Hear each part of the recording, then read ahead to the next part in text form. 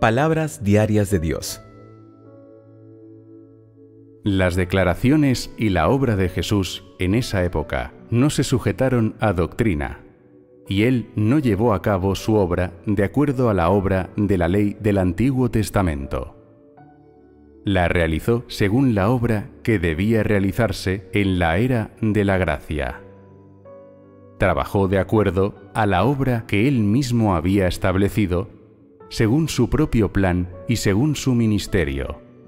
Él no obró de acuerdo a la ley del Antiguo Testamento, Nada de lo que hizo fue según la ley del Antiguo Testamento, y él no vino a obrar para cumplir las palabras de los profetas. Cada etapa de la obra de Dios no tenía lugar expresamente con el fin de cumplir las predicciones de los antiguos profetas, y él no vino para atenerse a la doctrina o para hacer realidad deliberadamente las predicciones de los antiguos profetas. Sin embargo, sus acciones no alteraron dichas predicciones ni perturbaron la obra que él realizó anteriormente. La idea sobresaliente de su obra no era ceñirse a ninguna doctrina, sino llevar a cabo la obra que él mismo debía realizar.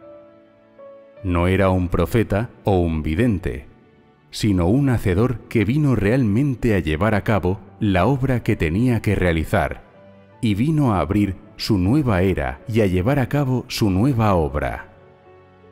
Por supuesto, cuando Jesús vino a realizar su obra, también cumplió muchas de las palabras habladas por los antiguos profetas en el Antiguo Testamento. De la misma forma, la obra de hoy también cumplió las predicciones de los antiguos profetas del Antiguo Testamento. Simplemente no me ciño a ese viejo almanaque amarillento. Eso es todo. Porque hay más obra que debo llevar a cabo, más palabras que debo hablaros.